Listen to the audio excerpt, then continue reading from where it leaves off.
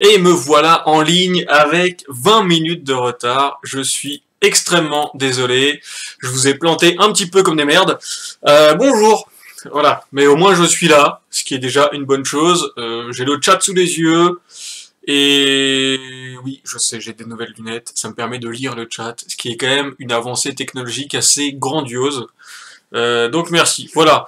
Il y avait pas mal de retard, et je sais bien que euh, qu'il y avait du retard, tout ça, tout ça. Ah ouais, je vois, voilà.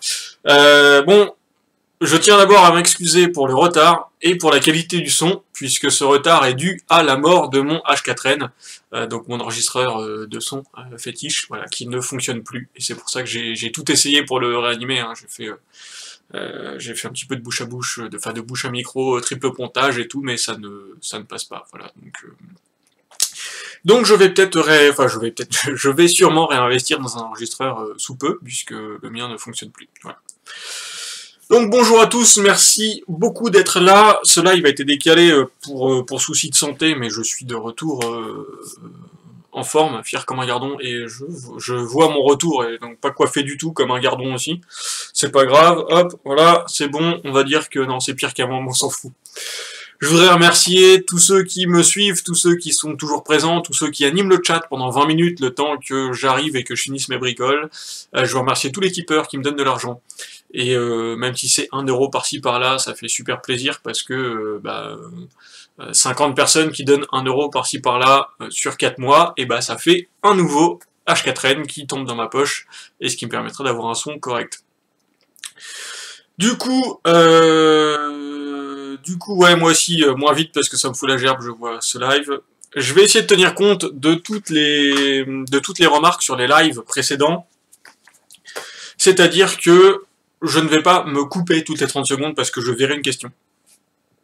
Je ferai des petites parties et je prendrai vos questions euh, à la fin des parties, à moins que je vois un truc du genre t'as parlé de tel terme, j'ai pas compris, du coup, euh, bah là, je m'arrête et puis je vais définir le terme. S'il y a des trucs que vous ne comprenez pas, harcelez-moi dans le chat, mais taguez-moi. Vous mettez un petit euh, hashtag temps mort ou juste temps mort. Je le vois s'afficher en orange. Et du coup, je sais qu'il faut que je regarde. Si je vois une page orange totale, c'est qu'il y a une couille quelque part. Donc euh, j'irai voir à ce moment-là. Et je vous, bah, je corrigerai ce que j'ai foiré, ou alors je vous expliquerai ce que vous n'avez pas compris parce que je l'avais mal expliqué de base. Voilà. Du coup, euh, oui, je fais la manche sur YouTube, MDR. On se retrouve aujourd'hui pour discuter d'un reportage passé sur M6 il y a trois semaines maintenant, je crois, le 28 janvier 2018. J'ai un doute sur l'année, ça ne va plus. Euh, donc dans 66 minutes, donc l'émission, euh, cette, espèce de, de, c'est Ramassi qui m'empêche de le dire. Euh, cette espèce de gardons enfoiré non ce ce ce ce, ce micmac ce gloubi ce gloubi boulga c'est dur à dire ça. Ce, mélange de petits reportages que fait 66 minutes euh, tous les dimanches soirs. Et il se trouve qu'il y a trois semaines, il y a trois, quatre semaines, il y a un mois quasiment, 66 minutes à parler de Alien Project, le projet de Thierry Jamin. Et donc, j'ai pris quelques notes, j'ai pas mal de citations, et je vais avoir des trucs à vous montrer aussi. Alors, il se pourrait il y a des trucs qui tombent derrière moi, c'est affolant, je suis appuyé sur mon armoire, ça ne va plus, et j'entends un livre qui se casse la gueule, donc ça, fait un peu peur. Euh, il se pourrait que... Euh, que... Euh, je, lis vos commentaires, je suis perturbé. je vais avoir quelques extraits vidéo à vous passer, je crois que je vais vous les passer sans le son, mais je les commenterai en même temps que je vais les diffuser, donc je vous regarderai plus, mais je regarderai la vidéo que je suis en train de vous diffuser, fatalement. Et du coup, euh, j'ai des citations, enfin j'ai pris des notes sur le reportage de, des 66 minutes. Vous pouvez le retrouver sur le net. Il, il, y a plein de sites de stream qui vous le repassent. Il dure un quart d'heure. Il dure 14 minutes, je crois. Donc il y a clairement moyen d'en faire quelque chose. Et euh, je ne sais plus où je voulais en dire. Bah, je vais commenter tout ça avec vous aujourd'hui. Et je vais autant critiquer un petit peu la manière que M6 a de présenter des reportages, d'investigations, des choses qui sont censées être vraies. Et je vais aussi critiquer le Alien Project, parce qu'il y a plein de petites choses marrantes.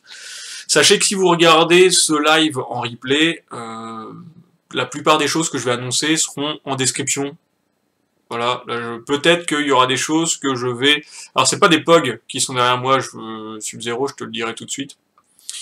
Euh, je, je mettrai pas mal de live, notamment des extraits du forum privé de Alien Project, car oui, j'ai un petit identifiant Alien Project, parce qu'une fois que le palier est atteint, bah, des gens comme moi, qui sont un petit peu critiques sur ce genre de bouse, on se dit toujours, bon allez, je vais donner 5 euros, juste histoire d'avoir accès à leur forum, et d'aller voir ce qui se dit.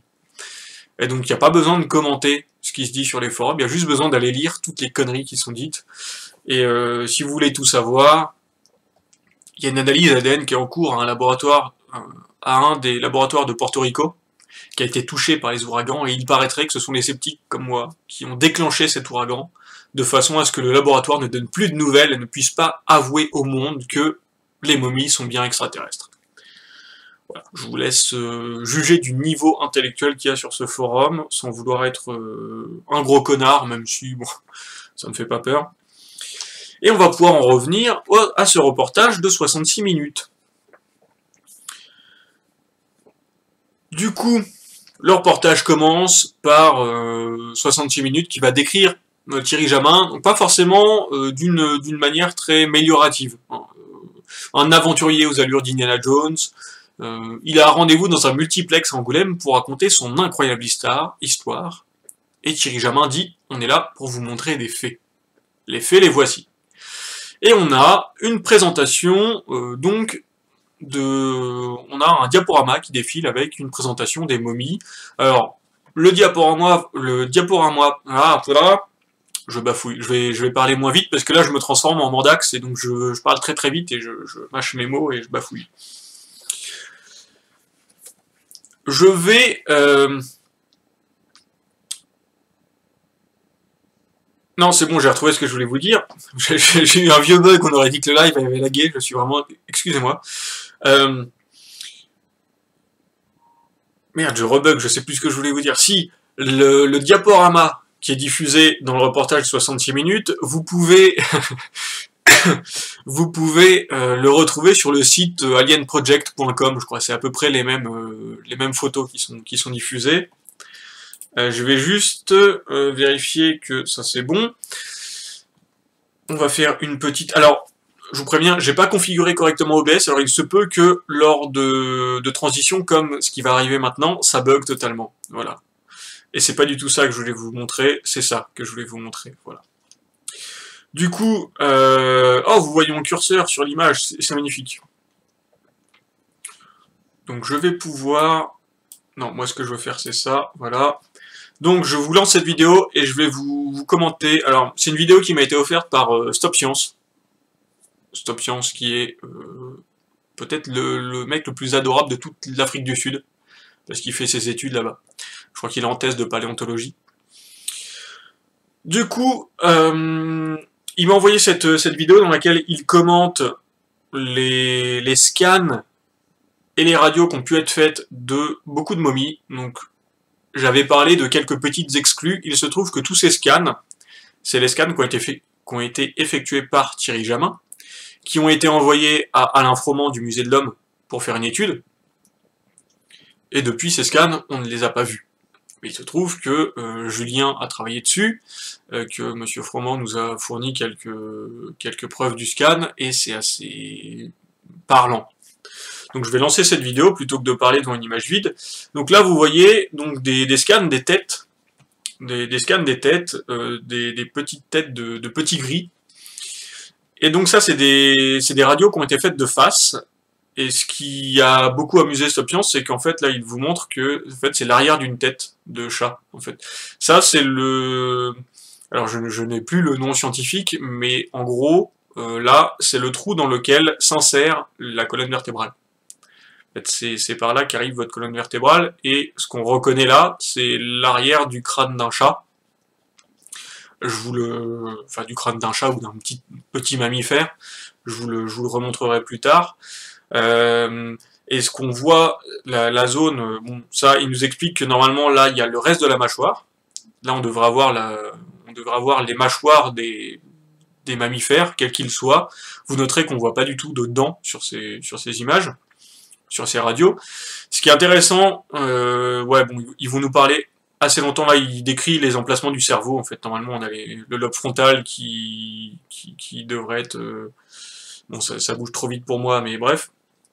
Euh, je, vais, vous la remettre juste... Parce que normalement, je, devais vous en montrer 10 minutes. je vous la remets, il va rezoomer dessus, puisque je suis reparti en arrière, donc on va revoir les mêmes images deux fois, ça va être plus simple. Donc là, exactement, hop, je fais pause ici, là, c'est le, euh, le foranem occipital. Oh, J'ai retrouvé le nom, je suis assez fier de moi. Donc le foranem occipital. Donc là, on, voit un petit peu l'empreinte des yeux qui ont été sculptés, mais là en fait il n'y a pas de trou pour les yeux. Si vous regardez, euh, il n'y a pas d'orbite du tout. Là c'est le, le foranem occipital, c'est là où se branche, si on veut, la colonne vertébrale. Donc c'est pas du tout une bouche, absolument pas, hein, ça les fait beaucoup rire. Euh, on a sur ces sur ces radios là, on n'a pas les on n'a pas de place pour les yeux, on n'a pas les trous pour l'orbite, enfin on a on a vraiment absolument rien euh, qui, peut faire croire que cette tête est montée dans le bon sens. Là, ce que vous montre euh, cette main, je crois que la main appartient à Julien de Stop Science. Voilà, ici, en fait, quand on fait une radio, on a des choses qui ressortent bien à la radio. Notamment plus vos os sont denses, et plus ça ressort génialement à la radio.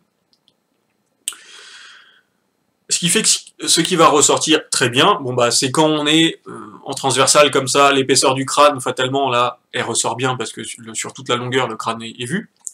Les os très denses, comme ici, et ça c'est euh, ça fait partie des os les plus denses de tout le corps humain, c'est les os de l'oreille interne. Ça et les dents, c'est ce qui va se voir le mieux à la radio, c'est ce qui va être le plus saturé en, absorption de rayonnement. Euh, et c'est ce à travers quoi le, les rayons X vont pas bien passer. Hein. Du coup, euh, là on se retrouve avec une oreille interne qui est placée à peu près au niveau de la... je suis en train de vous montrer sur ma tête, mais vous voyez pas ma gueule à la vidéo, donc c'est totalement stupide, mais si on dit, si on admet que ce crâne est un vrai crâne, ça veut dire qu'on a une oreille interne qui est située dans la joue. Parce que là, il y a les yeux, d'après, toujours d'après euh, d'après Thierry Jamin, hein. euh, là il y a la bouche, là il y a les yeux, sauf que quand on fait une radio, on se rend compte que tous les os de l'oreille interne sont ici. Ça fait que c'est un, peu, problématique, parce que quand ce personnage mâche, même si là on voit à la radio qu'il n'a pas du tout de dents, hein, donc je ne sais pas avec quoi il peut mâcher, parce qu'il n'a pas de dents du tout. Mais quand le personnage mâche, euh, bah, euh, il doit se rendre sourd parce que sa bouche est connectée à son oreille interne. On peut constater... Ah dommage, je fais une pause pile quand la main passe. Voilà, on peut constater que là, il n'y a aucune place pour les orbites. Donc on ne sait pas dans quoi les yeux vont s'en chasser, puisqu'il n'y a pas du tout de place pour l'orbite, hein, donc euh, c'est un peu chaud. Et il n'y a pas de dents non plus. Alors, ils ont essayé de reconstituer un truc, là, euh, de mettre des machins, trucs, mais on sait pas trop ce que c'est, mais les dents, on les voit pas. Euh, les dents, on les voit pas, donc c'est vraiment un gros problème. Hein. Faut quand même être logique là-dessus. Je ne sais pas de quoi se nourrissait cette chose, mais, c'est un petit peu problématique. Voilà. Donc je voulais vous montrer ça avant tout, parce que euh, ça c'est un exemple des, c'est un exemple des petites, euh, des petites merveilles que l'on peut trouver, et quand les radios sont bien faites, et eh ben on se rend compte que, euh, les radios, euh, bah, on peut les interpréter assez facilement. Donc, qui nous présente ça, je vous conseille d'aller voir sur alienproject.com, parce que c'est vraiment... Enfin, vous avez plein de radios comme ça, vous pouvez les voir vous-même. Je vais vous montrer quelques scans qui ne sont pas dispo sur le site, et donc vous pourrez revenir les voir là, il n'y a pas de souci. Je, vous mettrai... Alors, je vais demander à ceux qui possèdent les images de travail et les scans, si je peux les faire tourner dans la description de la vidéo. J'ai pas encore eu de réponse parce que j'ai pas encore demandé. Tout ce que j'ai demandé, c'est est-ce que je peux les montrer en live pour, euh, pour, euh, pour argumenter sur le fait que certaines choses ne sont pas vraies. On m'a dit, fais ce que tu veux avec notre travail. Donc, je vais utiliser le travail que les gens ont fait pour moi. Euh, j'ai pas de quoi étudier un scan moi-même et honnêtement, j'ai pas que ça à foutre.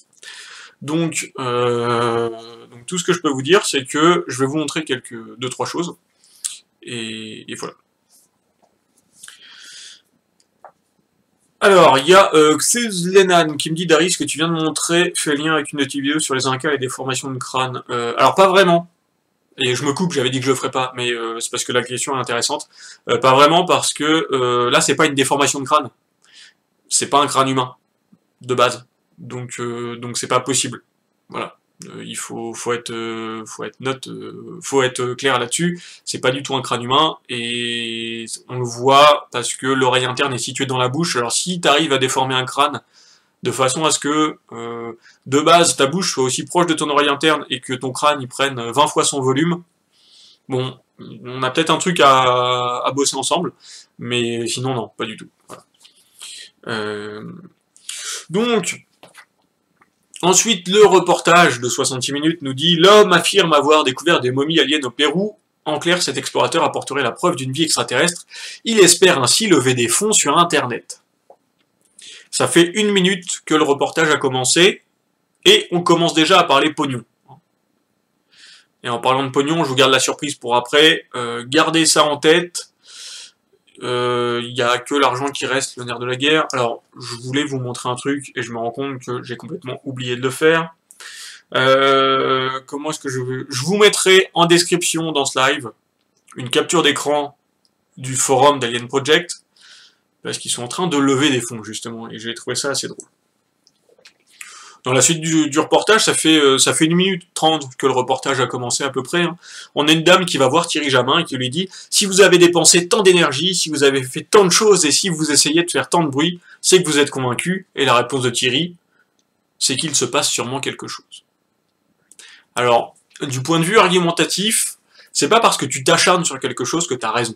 C'est pas parce que tu t'acharnes sur quelque chose que euh, c'est forcément vrai. Euh, voilà, je veux dire, il euh, y a des gens qui ont voulu envahir la Pologne, ils se sont acharnés, c'est pas pour ça qu'ils avaient raison.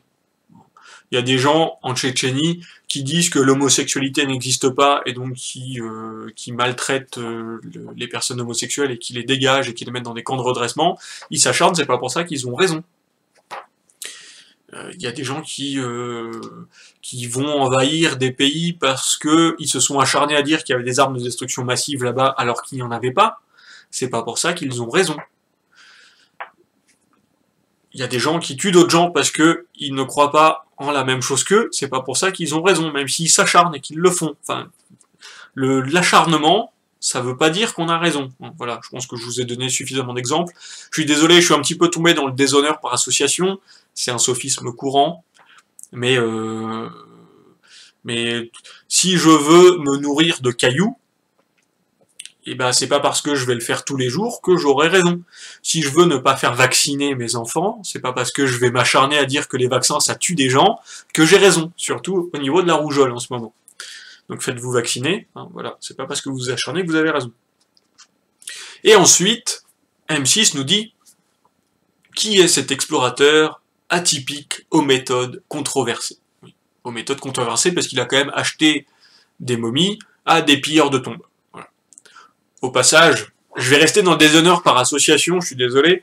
Euh, n'oubliez pas que Thierry Jamin est très très pote avec euh, Demian et Nurea TV. C'est pour ça qu'on a eu un live sur, Nurea, TV il y a quelques temps, là, avec un gars qui nous parle, de, avec Michel, qui nous parle des analyses ADN alors qu'il ne comprend absolument rien. Enfin, il doit pas comprendre plus que moi, mais j'ai compris plus de trucs que lui, c'est assez bizarre. Le gars nous dit que si on prend une séquence ADN de rat et eh ben on peut la retrouver exactement la même dans de l'ADN humain, et je suis en train de digresser parce que ça va venir plus tard, mais il m'a grandement énervé ce personnage. Euh... la rougeole c'est so sexy, non je, je, ne suis pas trop d'accord avec ça. Antoine qui nous dit c'est pas des pilleurs de tombes, c'est des sculpteurs. Bah c'est un peu des deux, parce qu'en fait ils ont fait des sculptures avec des ossements qui ont été datés au carbone 14 et qui datent d'il y a très longtemps. Donc euh, des ossements, ils ont, je crois, 1400 ans, un truc du genre. Donc ils ont forcément tapé dans des tombes antiques, enfin dans des tombes, euh, ouais, dans des tombes euh, antiques, si on va le dire, pour reconstituer des fausses momies. Et c'est assez, assez moche. Mais on a quand même M6, parce que M6, ça reste une chaîne où il faut faire du chiffre, il faut, faire, il faut créer des choses. Et M6 nous dit, je pense, la plus belle connerie de tout ce reportage. Et je la cite, hein, parce que c'est à 4 minutes 46 environ. Depuis la nuit des temps, des aventuriers, scientifiques ou simples particuliers affirment avoir aperçu des ovnis. Si je ne tenais pas mes fiches là pour les lire, j'applaudirais.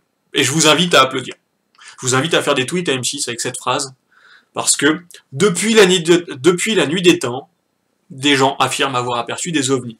Alors, la première, euh, la première observation d'ovnis, c'est Kenneth Arnold, le 26 juin 1947. Donc, à moins que euh, le, réalisateur de ce reportage euh, n'ait suivi aucun cours d'histoire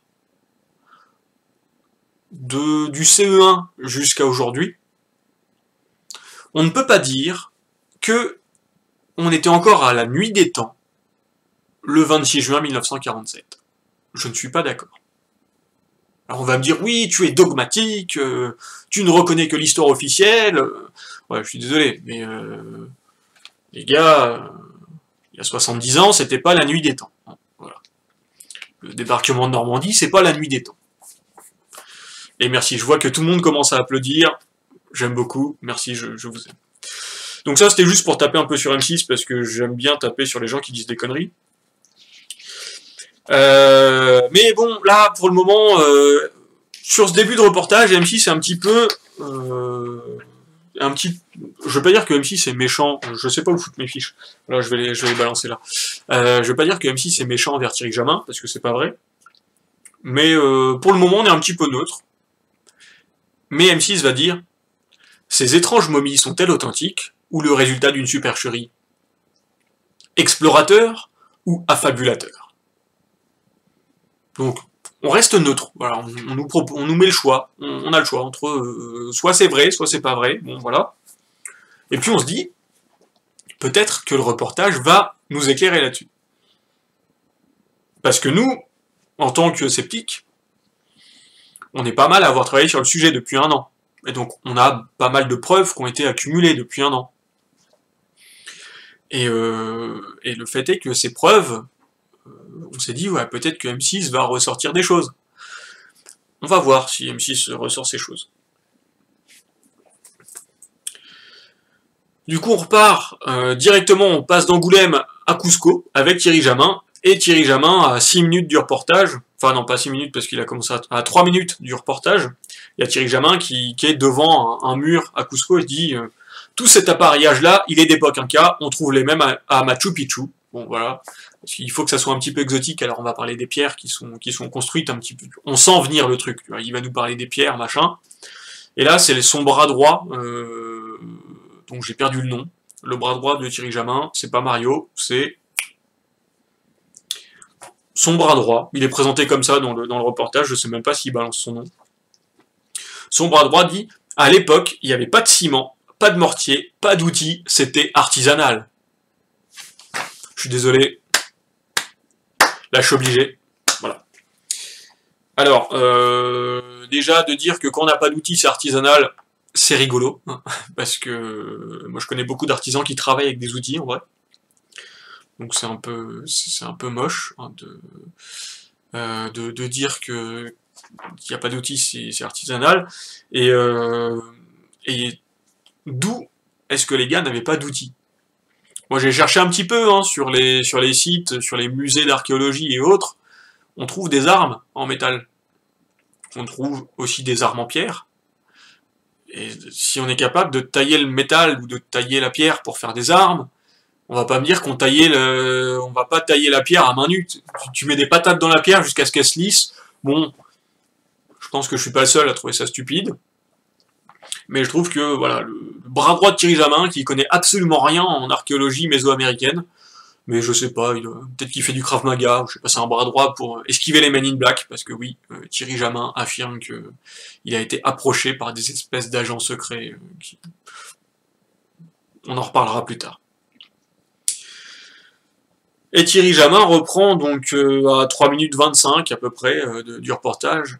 Il dit de face à ces murs hein, qui sont faits, qui ils sont beaux, ils sont vraiment chouettes ces murs, il n'y a, aucun souci là-dessus. Face à ces murs, Thierry nous dit, c'est à se demander si on n'a pas été aidé par un peuple venu d'ailleurs. Et là, on est dans la monstration. C'est-à-dire qu'on voit un mur, on ne peut pas le comprendre, donc on va dire, ah bah, si on ne peut pas le comprendre, c'est qu'il n'y a rien à comprendre, c'est forcément les aliens. Alors qu'il y a plein de gars, des archéologues, qui font de l'archéologie expérimentale, des historiens qui bossent sur les histoires des sciences et des techniques, même des artisans qui se sont dit euh, comment est-ce qu'ils ont pu le faire, on va tenter de le refaire nous. Et du coup, euh, bah, ces gens arrivent à refaire ce genre de construction, ou à bouger des pierres un petit peu lourdes. Et ça, c'est de la démonstration. Du coup, euh, cette parole de euh, ouais non, nos ancêtres étaient trop cons, ils sont pas nous on n'est pas capable de le faire, donc nos ancêtres ils étaient forcément moins doués que nous, donc c'est des aliens. Bon ensuite il y a M6 qui nous dit que les Incas et le mythe des citadors ça a toujours passionné Thierry Jamin, machin machin machin. Et à euh, euh à 7 minutes 21, bah, je prends le timing de l'émission, 7 hein. minutes 21 sur l'émission, mais ça fait genre 4 euh, minutes 21 dans le reportage. Thierry Jamin nous dit on est dans une phase pour savoir si c'est authentique ou si c'est une fraude. Donc ça, ça a dû être tourné il y a quelques mois. Hein. Le problème, c'est que nous, ça fait un an qu'on bosse sur le sujet. Et les fraudes, euh, j'ai envie de vous dire qu'on les connaît depuis ça. Ouais, magnifique, euh, magnifique petit montage. Euh, donc ça, ça fait partie des premières momies qui nous a... Euh, une des premières momies qui nous a été montrée au lancement d'Alien Project. Celle-là, je ne sais pas si on la trouve encore beaucoup. Mais c'est chaud. Honnêtement, voilà, vous voyez plus mon curseur. Mais bon, ce qu'on peut, peut voir, vous voyez tout de suite la différence entre une tête, même un vrai squelette, qui est passé au rayon X, et ce crâne qui est passé au rayon X. Oui, mon écran est pas là, donc quand je regarde là, c'est que je regarde l'écran ou le chat. Euh, et oui, je... Euh, Gaudry, Méran, je suis entièrement d'accord avec toi. Euh, donc vous voyez ce crâne, en fait, c'est un espèce de truc dense, qui n'est pas de l'os. On ne sait pas ce que c'est. Euh, la colonne vertébrale est inexistante. C'est-à-dire que ce bonhomme, c'est un Playmobil. Il peut pas se plier en deux. Sa, colonne, elle est, raide. C'est un truc, on ne sait pas si c'est un os long qui a été cassé pour euh, servir là, voilà. Sa colonne vertébrale, euh, il y en a pas, c'est un os. Donc il est comme ça, monsieur balai dans le cul.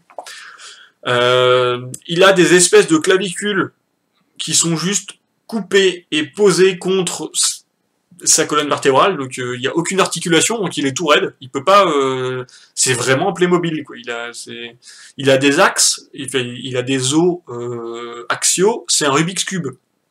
C'est sur les épaules, on sait même, on, ne sait même pas s'il a. Je vais essayer d'agrandir un peu en mode salle. Bon, j'y arrive pas. Je me fais un peu, ouais, non, je suis un peu con là-dessus, mais tant pis. Peut-être que j'ai complètement pourri le stream, en plus, je suis désolé. Euh, le truc est vraiment tout raide, littéralement. Il a pas de bassin. Enfin, il a deux espèces de, de, boules cailloux, on sait pas ce que c'est. Euh, et, ses, et ses jambes sont fixées sur les côtés, on dirait un dessin d'enfant, en vrai. Hein.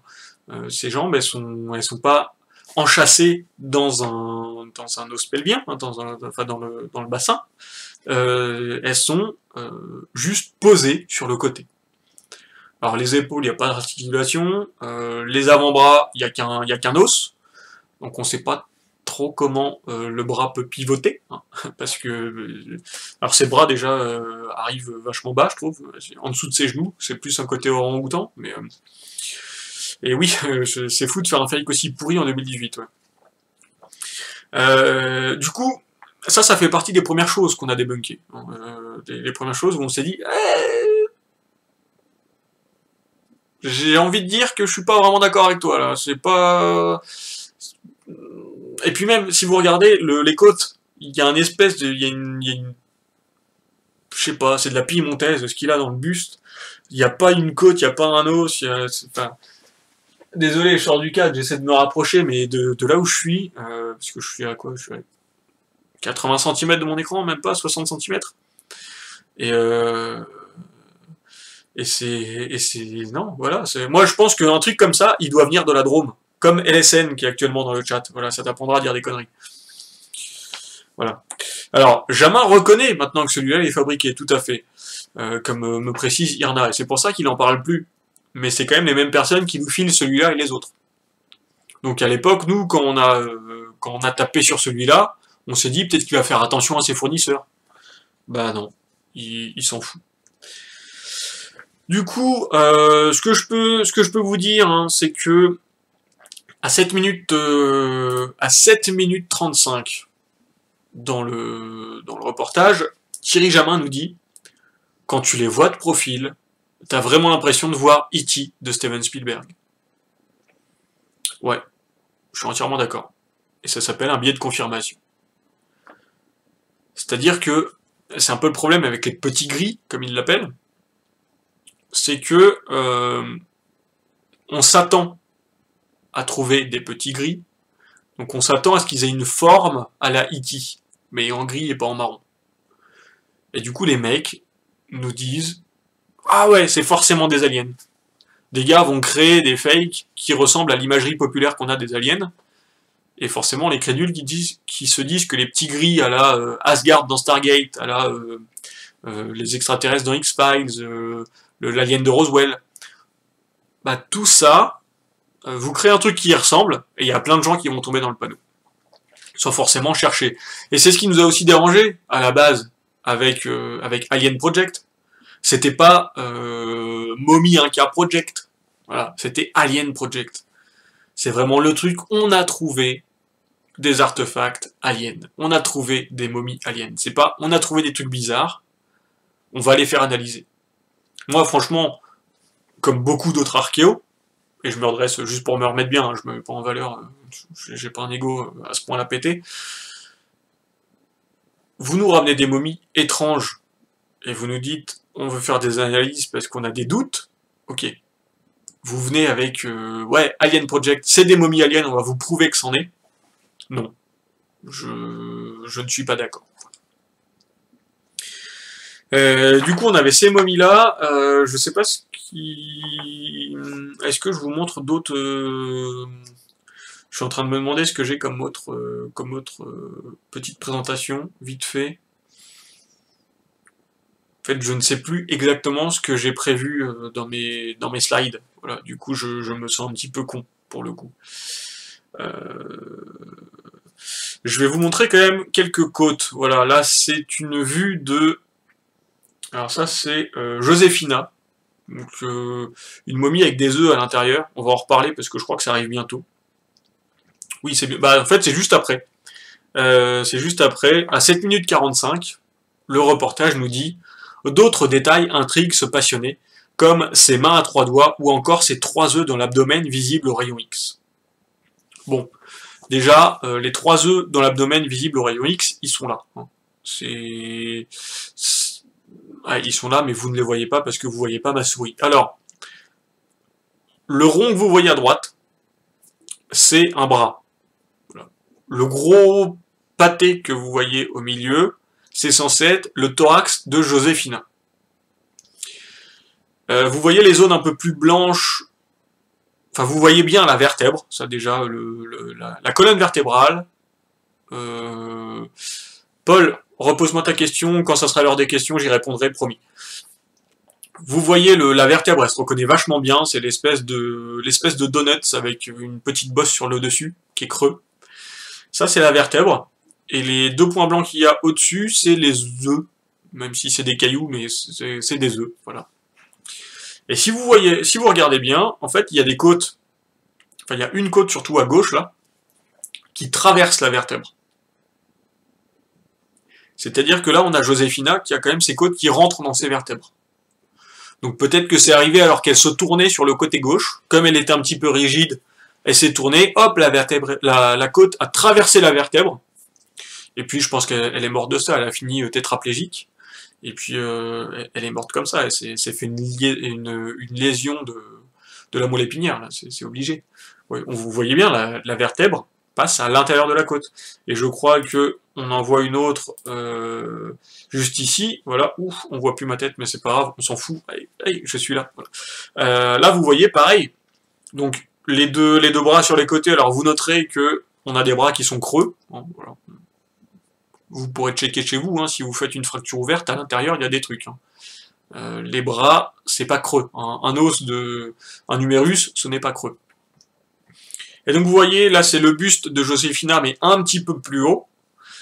Euh, vous voyez aussi la côte qui passe à travers la vertèbre. Là on, la voit, on la voit très bien aussi. Euh, on, peut, on peut comparer les deux. Voilà, là, la côte on la voit bien. Là la côte aussi, elle passe, elle passe clairement dessus et c'est c'est assez... Euh, ouais, ils ont des, de sacrés problèmes de dos. on va y revenir au problème de dos tout à l'heure. Je, vais vous expliquer pourquoi. Je crois que je vais... Je crois que j'en remontre un petit peu tout à l'heure. Et si je n'en montre pas, euh, euh, c'est que j'ai oublié, mais je, je, le referai à l'arrache, c'est pas grave. au niveau des côtes, alors je vous ai montré Joséphina, et là on a Alberto. Donc Alberto, hein, euh, Alberto, donc c'est le même problème. Hein. Et là, on voit encore mieux les côtes. Alors, il y a son numérus aussi à côté, hein, qui, est, un peu plus loin, parce que lui, il a des épaules très très larges. Alors, Looping qui me demande, ce sont des aliens, ils peuvent bien avoir des bras creux, non? Oui, ils peuvent tout à fait avoir des bras creux. Sauf que les animaux qui ont des, os creux, en général, c'est des oiseaux. Ça arrive. Mais euh, par contre, je connais pas d'animaux qui ont les côtes qui se touchent quasiment au milieu de leur colonne vertébrale. Et ça, je trouve ça assez ouf. Parce que même dans les momies, euh, vous prenez les momies incas euh, humaines ou des momies égyptiennes, on n'a pas comme ça les côtes qui vont rentrer dans les vertèbres. Donc il se pourrait que ça soit un fake. Voilà, moi je, suis désolé, hein, je suis partisan de ça, parce que euh, je, ne vois pas la logique d'avoir des côtes qui... Et puis, admettons que cette côte soit juste entre des vertèbres. Voilà. Euh, je crois qu'on a une autre... Euh, ah, bah, elle est au-dessus, dommage. Voilà, là on a aussi Alberto, et si je dis pas de conneries, ouais, on voit aussi, on voit aussi les côtes qui, bon, là c'est un peu plus bordélique, mais on voit aussi les côtes qui passent à travers les vertèbres. Donc, je vais vous remettre celle-là parce que c'est la plus parlante à mon avis. Admettons que la côte ne traverse pas la vertèbre, mais que la côte se glisse entre deux vertèbres. Ben, moi je veux bien, il n'y a pas de souci. Sauf que quand vous allez vous pencher, normalement, en fait, la colonne vertébrale, euh, entre les vertèbres, euh, on est censé avoir une espèce de lubrifiant qui nous permet de, faire ça. Par exemple, tu vois, de, danser, de zouker. voilà. Le problème, c'est que si on a des os qui se glissent entre les vertèbres, bah, quand, on va, se pencher, bah, ça, va, nous tuer. il y a un moment, euh, c'est violent quand même. Alors, rien n'indique que le squelette ait été trouvé dans cet état ou que le corps n'ait pas bougé ou été déformé post-mortem. Bah, en fait, c'est un petit peu le problème, c'est que quand tu momifies quelqu'un, tu le momifies quand il n'est pas décomposé. Et le fait est que, euh, pardon, même s'il a été modifié, au niveau des proportions, il y a des trucs qui jouent pas. Enfin, tu, ne peux pas te retrouver dans cet état-là. Euh, pourquoi est-ce qu'il aurait été modifié post-mortem Il n'y a aucune raison. S'il a été momifié selon des traditions humaines, comme on peut retrouver en Mésoamérique ou en Égypte, ou ailleurs, euh, en Chine, il n'y a pas de raison qu'on aille euh, s'agouiner une momie juste derrière. Et donc, donc voilà. C'est pour ça que je suis assez dubitatif quant à cette, euh, affirmation. Et je vais vous retrouver un, un petit trip. Alors je, voulais, je vous ai parlé des œufs. Alors les œufs... Euh, les œufs... Ah ouais, c'est pas foutu dans le bon sens, c'est un peu chiant. Euh, je vais vous parler des mains tridactyles. Alors il faut juste que je retrouve le petit passage de vidéo avec les mains tridactyles. Parce que on a aussi on a aussi des radios sur, sur les mains tridactyles qui sont assez drôles. Enfin, c'est drôle, c'est pas forcément rigolo, mais voilà, je vais vous les mettre là. Donc là, on a, donc on a la main. Alors ça bouge beaucoup parce que il faut admettre que les gars de, il faut admettre que les gars de, de, Stop Science étaient assez hilar face à cette vidéo. Mais vous pouvez le voir. Ah oui, bah, c'est bien, je peux vous montrer maintenant avec ma souris. Alors, vous pouvez le voir ici. Euh, si vous regardez bien euh, des, radios de main humaines, Ici, on est censé avoir des métacarpes, là des carpes et des phalanges, ou l'inverse, enfin, métacarpe, carpe, phalange, là comme ça. On va dire métacarpe, carpe et phalange, voilà.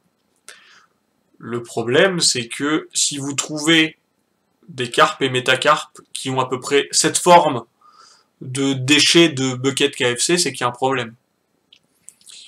Euh, pareil, là, euh, vous voyez que cette phalange-là, curieusement, elle a un peu la même gueule que celle-là. Parce que c'est des phalanges qui sont censées se brancher sur les métacarpes. Là, en effet, on a deux belles phalanges qui se baladent au milieu des métacarpes, tranquille. Et là, pareil, hein, on a des, phalanges, c'est les, mêmes que ces phalanges du bout, là, euh, les phalanges terminales. C'est exactement les mêmes qui sont ici. Hein. Euh, merde, je me, suis, planté. Alors c'est carpe là, métacarpe ici, et les phalanges. Euh, Primum, tu me corriges. Primum est dans le, dans le chat et il est en train de me... De, quoi vous m'entendez plus? Si Vous m'entendez vraiment plus? Je vois que... Je vois... Attends, qui... Qui, qui est... Euh... Merde, j'ai paumé la personne qui me disait qu'elle m'entendait plus, mais apparemment vous m'entendez encore, donc il n'y a pas de, y a pas de souci. Euh... Donc là, c'est vraiment le bordel. Alors moi, je veux bien, euh, Kojak me dit, euh, les, gens euh, qui sont croyants en Alien Project vont me dire c'est Alien, donc de toute façon, ma théorie ne joue pas. Mais le, souci, c'est que, enfin, je veux bien que les aliens ne soient pas foutus comme nous, mais ça sert à quoi d'avoir autant d'os Enfin, en plus, c'est des, des, eaux, euh, des eaux standards, ça sert à rien.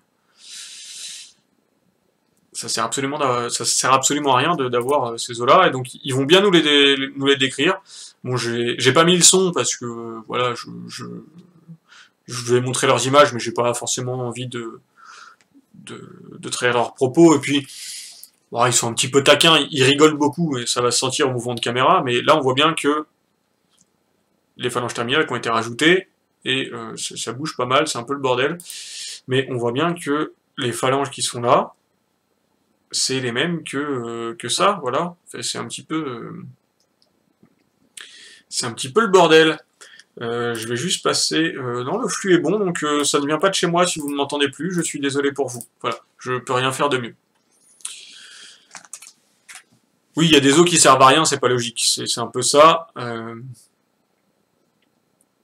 Euh, et, voilà, bon, c'est cette, euh, cette, petite, euh, cette petite main. Bon, il y en a plusieurs des mains, hein, j'en ai d'autres. Vous en trouverez assez facilement sur le net.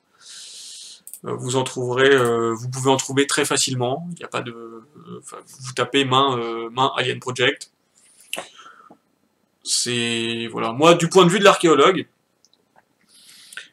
ce que je trouve assez impressionnant, c'est que ces mains là, elles ont une taille qui est quand même pas dégueu, quand on les voit, elles font 30 cm de long.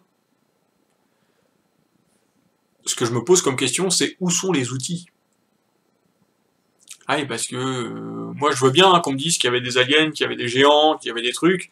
Le seul problème, c'est que quand on a des mains de 30 cm, alors je, vais vous la, je vais vous la remontrer vite fait, hein, mais euh, cette main-là, euh, vous pouvez pas passer le balai avec. Hein. Déjà, elle n'a pas de pouce opposable, donc euh, bonjour la civilisation euh, suprême. Euh, elle a aucun pouce opposable. Donc trois doigts, c'est cool, mais elle peut pas attraper quoi que ce soit. Donc avec cette main-là, on ne peut pas passer le balai. On ne peut pas fabriquer du savon. On ne peut pas tenir une lance. vous mettez des incas face à ces mecs-là, Et même, on on peut pas euh, tirer avec un pistolet non plus. Il n'y a pas de pouce. Ils n'ont pas d'outils, ils font pas d'artisanat, c'est ça. Mais du, point de vue euh, développement de civilisation, avec une main comme ça, c'est pas, on peut, on peut rien faire. Alors Antoine qui me demande, euh, les os sont de même nature que les nôtres, euh, et je vois pas la fin de ta question parce que c'est bouffé. genre calcium, ouais, bah les, os, oui, ce sont des os standards, et quand on demande à des archéoanthropologues ou des archéozoologues, ils arrivent à reconnaître des os de certaines espèces par moment.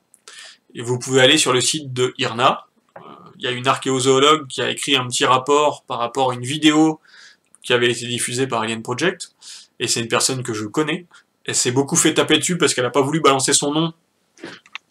Et tous les, tous les croyants de Alien Project sont dit ouais, c'est anonyme, c'est une connerie. Euh. Enfin, c'est un petit peu... Euh, elle s'est fait démonter. Je la connais à titre, à titre personnel, c'est moi qui suis allé la trouver pour lui demander euh, ce qu'elle en pensait. Donc, euh, et je vais, je vais remettre ma tête, comme ça vous pourrez juger de toute ma bonne foi, mais oui, c'est, quelqu'un qui a travaillé avec un ami à moi, euh, qui est archéologue, mon ami aussi, enfin mon pote euh, Yannick, si tu te reconnais, si tu passes dans le coin, Yannick est archéo, professionnel, c'est des gens qui ont travaillé ensemble, et je sais qu'elle est compétente en tant qu'archéozoologue. Donc, donc voilà, il n'y a pas de il n'y a pas de souci là-dessus. Euh, c'est une archéologue standard euh, qui fait très très bien son boulot, il n'y a pas de problème. Je vous ai montré les mains tridactyles et on va pouvoir passer aux œufs. Alors, euh, si je ne dis pas de conneries, ça va être ce slide là. Oh oui, j'ai réussi et vous ne voyez pas ma, joie. Donc là, Joséphina. Joséphina, donc avec des œufs. Alors, c'est magnifique. donc, le problème, vous pouvez voir déjà, les jambes, elles sont plus ou moins fixées. Hein. Les, jambes, sont posées sur le bassin.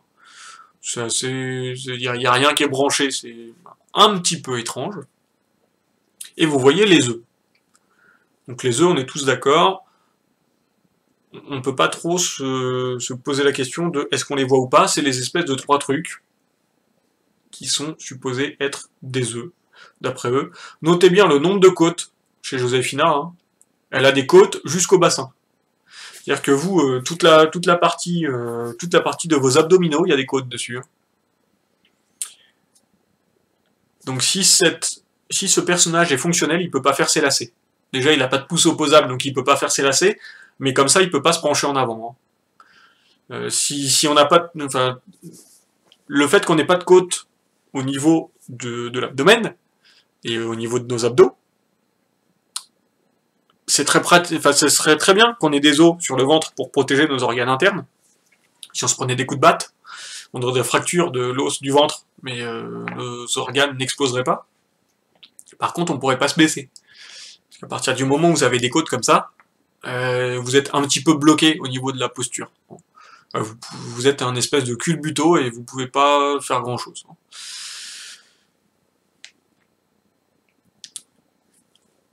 Du coup, euh, du coup, on nous a dit, il y a des œufs. Je vais vous montrer une petite vidéo euh, qui a été euh, qui a été réalisée par par Julien de. Oula, faut que j'arrive à la retrouver, faut que j'arrive à la retrouver. Ah, je l'avais mise tout à l'heure et je l'ai perdue, je crois. Faut que je la retrouve vite fait. Donc une vidéo qui a été réalisée par Euh, ah, elle est là. Elle est là. Est-ce qu'on va la voir? Est-ce qu'on va la voir? Oui, magnifique. C'est de toute beauté. Bon, elle est, elle est un peu dégueu, j'en suis désolé. Donc c'est une vidéo qui a été réalisée par euh, Julien de, Stop Science. Je vous explique, hein, Stop Science, euh, donc Julien est paléontologue. Et ça, c'est un scan d'os de dinosaures a été réalisé, et vous allez voir la différence entre scanner un caillou, faire une radio d'un caillou, et scanner un, un œuf, un vrai œuf. Vous voyez, on voit tout. Et ça, c'est juste trop bien. Et, sauf que ça bug, oui, je suis sur VLC, parce que vive le logiciel libre. et je vais vous remettre les œufs.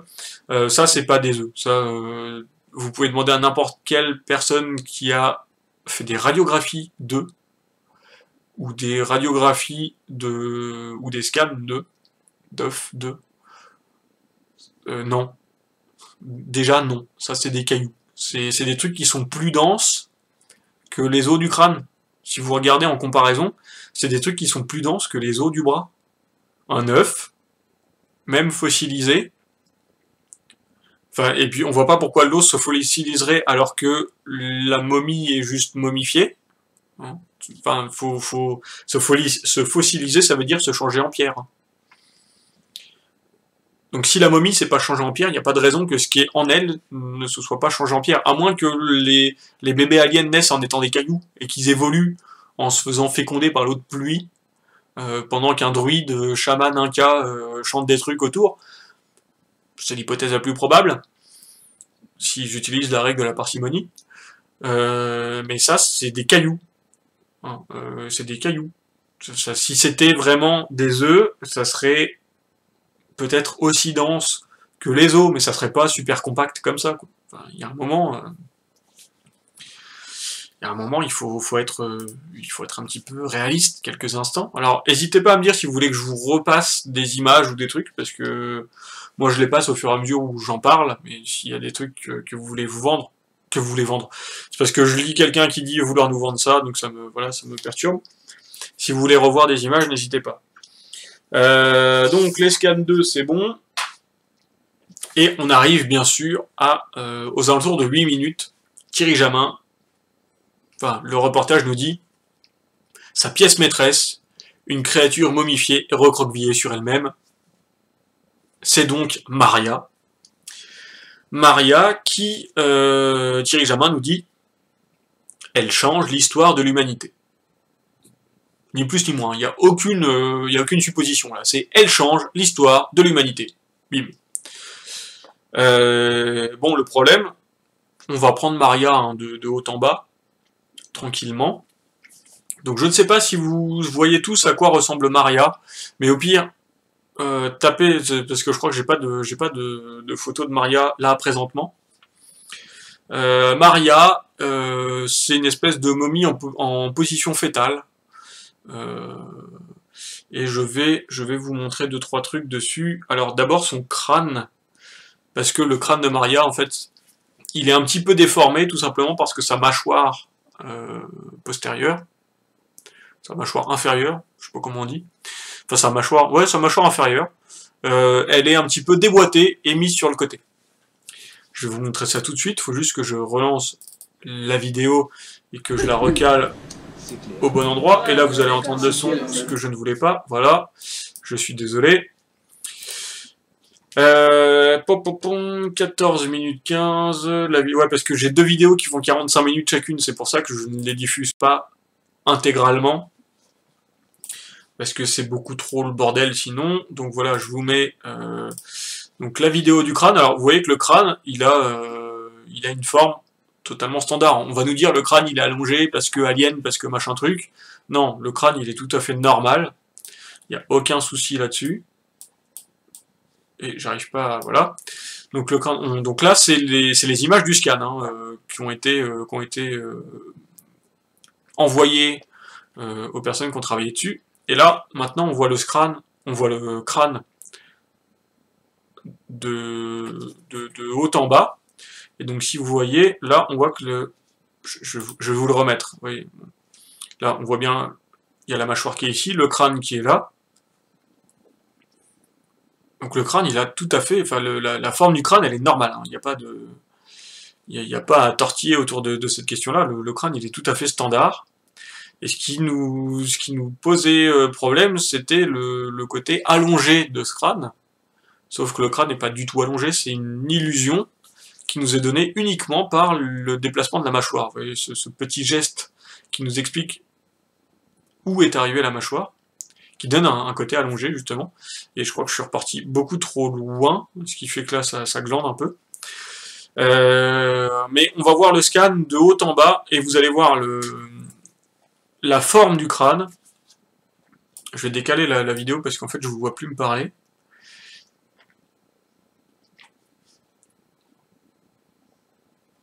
Du coup, euh, là, moi je veux le crâne. Vas-y, monte-moi. Voilà. Donc là, on est vu du dessus. Et si on regarde, donc on a la forme du crâne qui est ici, avec les orbites. Voilà. Et boum, la, la mâchoire, elle est complètement décalée. Et là, on a, on a le crâne qui, est bien présent, on va descendre, on va croiser des premières dents, et la mâchoire, là, elle est vraiment complètement sur le côté. Donc c'est une déformation. Et en fait, euh, ce qu'on on s'en rend compte, alors euh, on s'en rend compte euh, sur le scan, c'est que la mâchoire, je vais, je, vais, arrêter ça là, je vais revenir vers vous. On s'en rend compte sur le scan, parce que les, collègues ont, fait un petit taf dessus. Je pense que Julien publiera un truc dessus, mais vous pouvez aller voir les, vidéos de Stop Science sur le sujet. Déjà, elles sont bien faites. Et en plus, elles sont, elles justes. Euh, le fait est que, si je dis pas de conneries, Maria, elle est comme ça.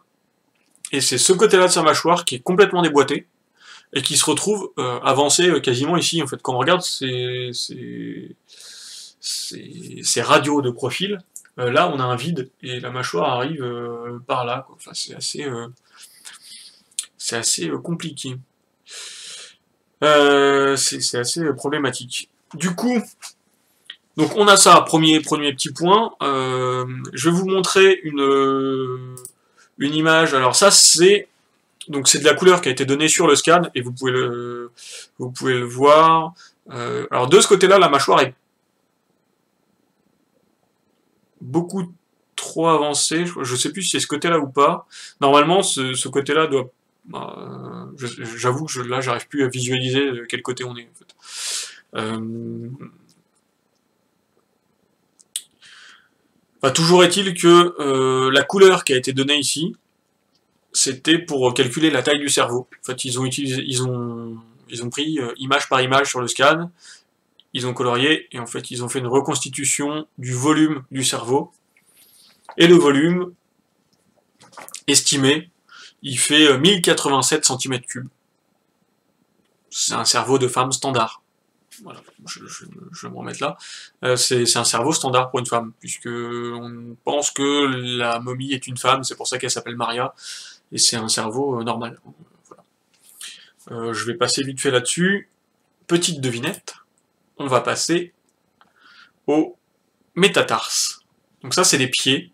Donc les pieds de Maria, ah oui, euh, petit détail que je ne vous ai pas dit, euh, petit détail sur Maria, elle a trois phalanges et elle a trois orteils.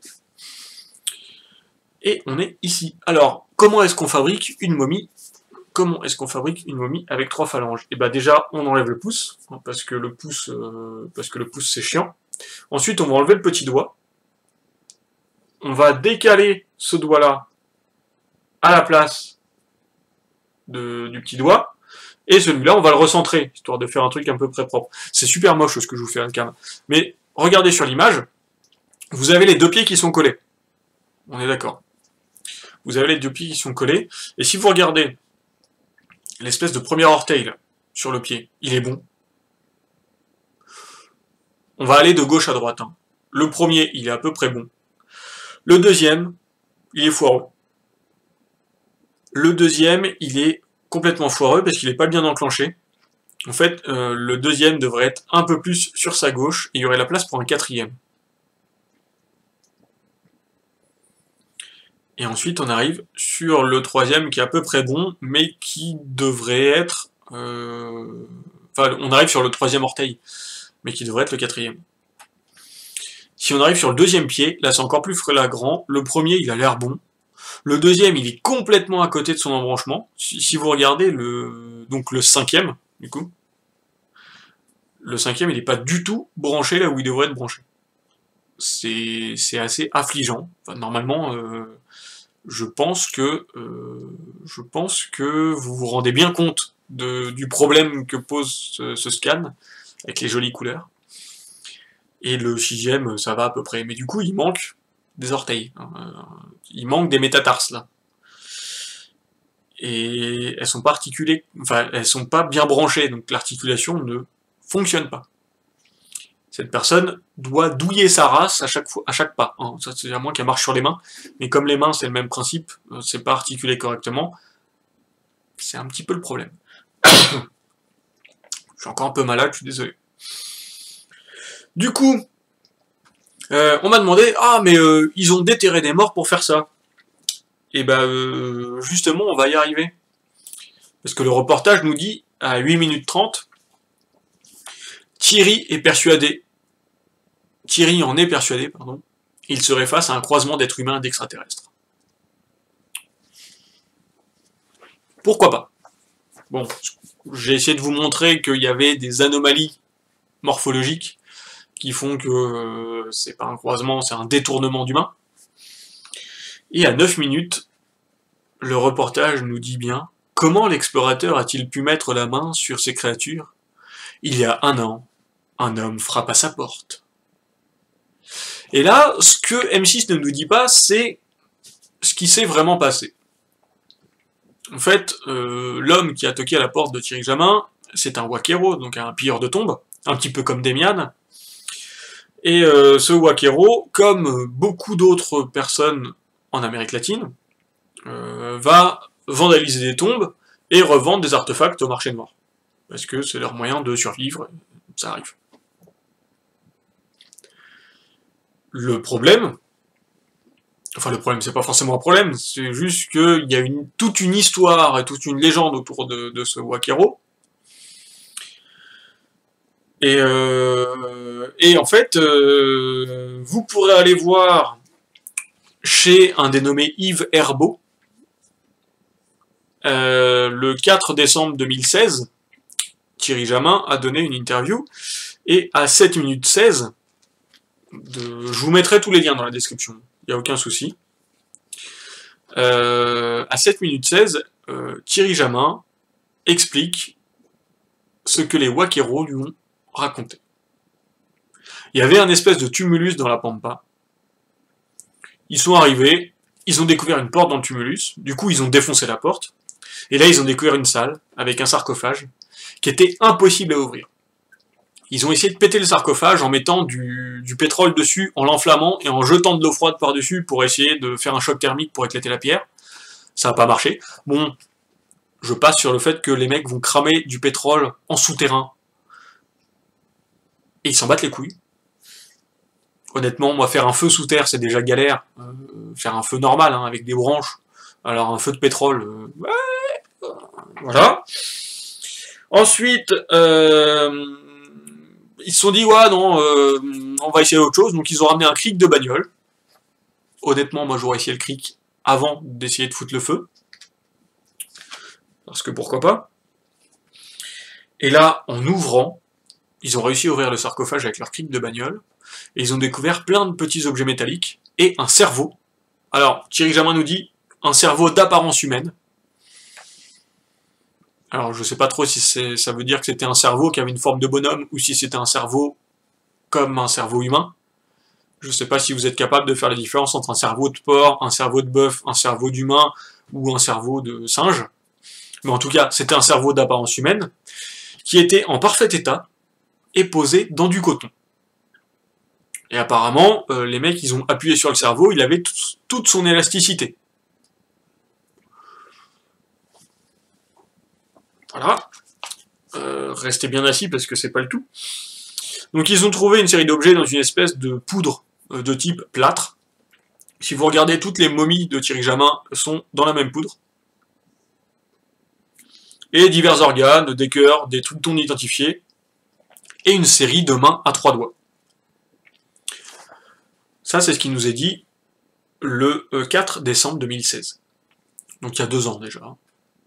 Ce qui est marrant, c'est que l'histoire, euh, vous savez, une histoire qu'on la raconte, elle évolue. Ce qui fait que le 8 janvier 2017, on retrouve euh, Thierry Jamin chez Nurea TV, qui à 20 minutes et 4 secondes nous dit il y a une paroi qui semblait creuse. Alors, il tape dessus au bourrin, au, bourrin, le, lapsus révélateur. Euh, il tape dessus au burin, et là, il tombe sur une entité alien vivante, qui fait environ 3 mètres de haut, Thierry Jamin nous dit c'est un grand gris. Donc c'est pas un petit gris de 60 cm, c'est un grand gris, donc un gris de taille euh, euh, grande, donc 3 mètres, avec des grands yeux bleus luminescents. Et Thierry Jamin va passer quelques secondes à dire ouais, euh, je leur ai demandé si c'était la lumière de leur torche qui se reflétait dans leurs yeux, ou si c'était vraiment les lieux qui projetaient de la lumière bleue. Et apparemment, c'est des grands yeux bleus luminescents, donc qui projettent de la lumière. Et euh, là, il nous dit, voilà, l'entité s'est enfuie dans le tunnel qui venait de creuser, et les Wakeros se sont aussi enfuis. Parce que pourquoi pas. Mais, dans les tunnels, ils ont aussi vu des lutins, des petits farfadets. je suis désolé. Je, relis mes notes et j'ai du mal, j'ai vraiment... Il le dit vraiment. Honnêtement, vous allez sur l'émission Nura TV du 8 janvier 2017. Thierry Jamin dit vraiment ça avant minute 4. Ils sont tombés sur 4 à 5 lutins. enfin, désolé, le fou rire.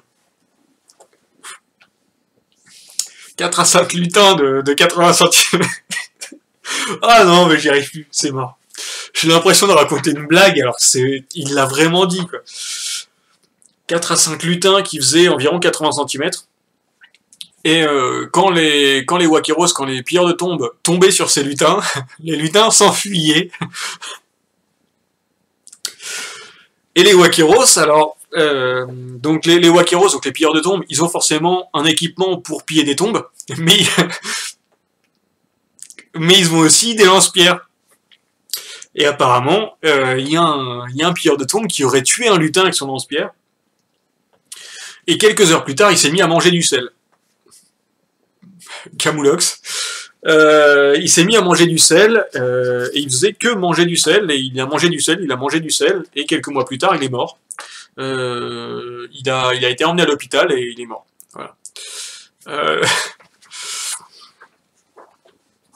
Et il y en a un autre, un, autre pierre de tombe, donc ils étaient quatre, je crois, il y en a deux qui sont morts. Ah, spoiler, il va mourir. Il y en a un autre qui a tenté de tirer au lance-pierre sur les lutins, Apparemment, euh, il a tenté d'en tuer un, mais euh, le lutin s'est enfui, ou je ne sais quoi. Et euh, il est tombé malade et il est mort quelques mois plus tard. Voilà. Donc...